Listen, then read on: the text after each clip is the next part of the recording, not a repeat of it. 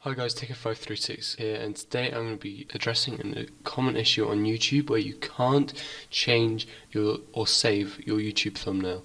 So, first of all, um, I want to get on to the point. I want to show you that this doesn't work. So I'm going to change here to one of the stock ones.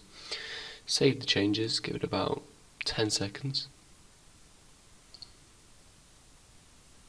Okay, and as you can see, it hasn't changed.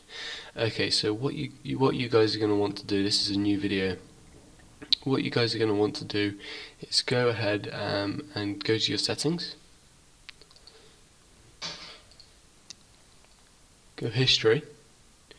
Go history up here and click on clear browsing data and you want to have you want to click check cached images and files cookies and other sites and plugins just all these four here. Um, no need to do passwords and stuff um, and click on clear browsing data. This is pretty much the same for all browsers. Okay so once you've done that you want to go to your you go to YouTube sign out then sign back in again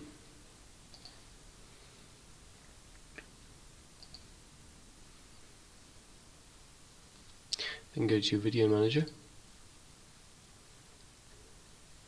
And as you can see guys it's changed. So if this video helped please give it a like and if it didn't and you don't know why stick a comment in the comment section below and I'll get to it straight away. Thanks for watching guys. Please like comment and subscribe and I'll see you in the next video